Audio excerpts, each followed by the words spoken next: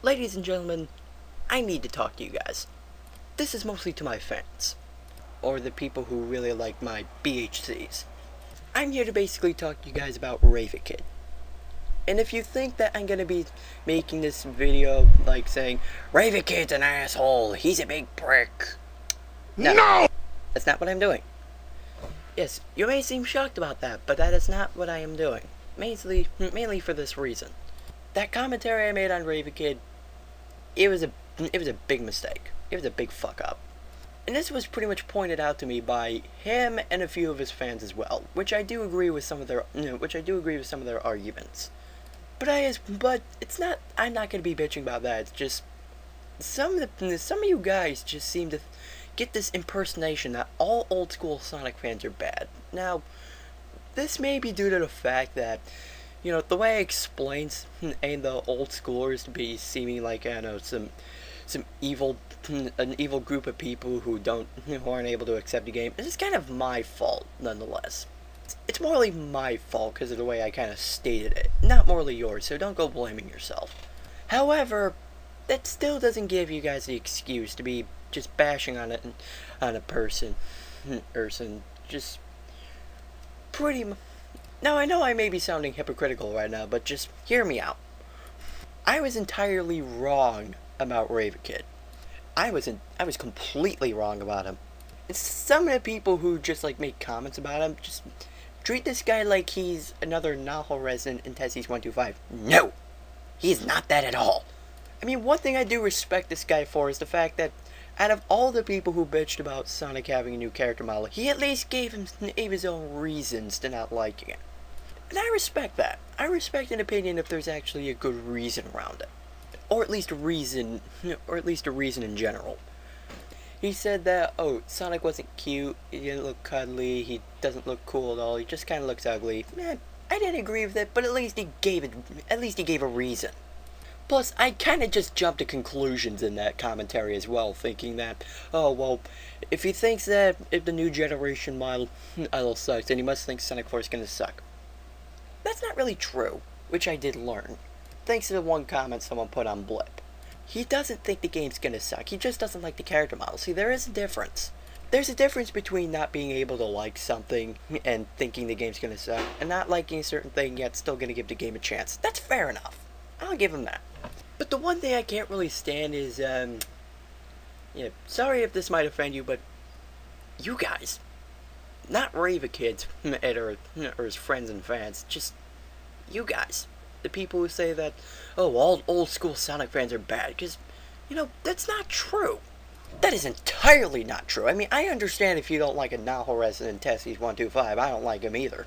But just because somebody prefers the old school games over the new generation games doesn't mean that they're a raging old school fan who can't accept the new generation games. That is not true. Raven Kid, for example, is one of them. One of them.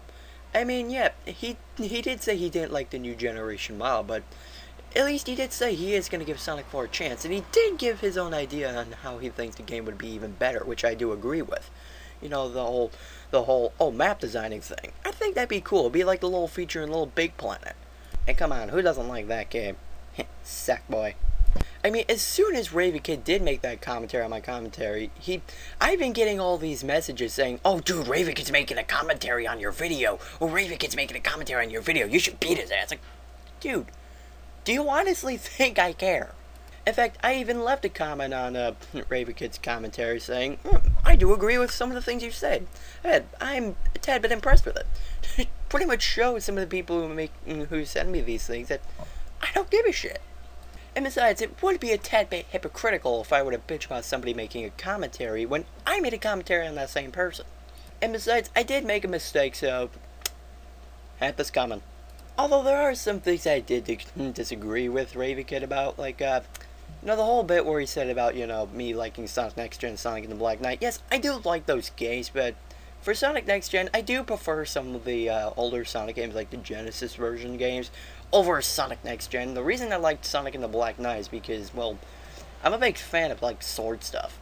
And, you know, I, you know, I did ask myself this one question, like, what Sonic would be like with a sword, so I was pretty much tempted into this. And Shadow the Hedgehog, I just like it because it's action-packed. But hey, it's your opinion, so I'm not even gonna bite. But anyway, getting off topic, to my fans, you really gotta you really gotta stop like jumping on the on the oh you old schooler bandwagon because it's really getting annoying with me. Because every time there's usually like I don't know some old school Sonic fan like bitching about like some character model, I'm usually always one of the first people to hear it. Because someone usually just sends me a message saying like, "Oh, dude, check out this one person." Okay, well technically I wouldn't be the first person to say that, so scratch what I just said there. Like, so yeah, someone usually just send me a message about this one certain particular fan, like, and I'll sometimes look at it and I'll be like, dude, this guy's nowhere in comparison to people like an owl resident. Raven Kid, you were one of them. I saw Shadsouls 11 talking about you, and I kind of just assumed that pretty much what I said in the commentary, and I turned turned out I was completely wrong.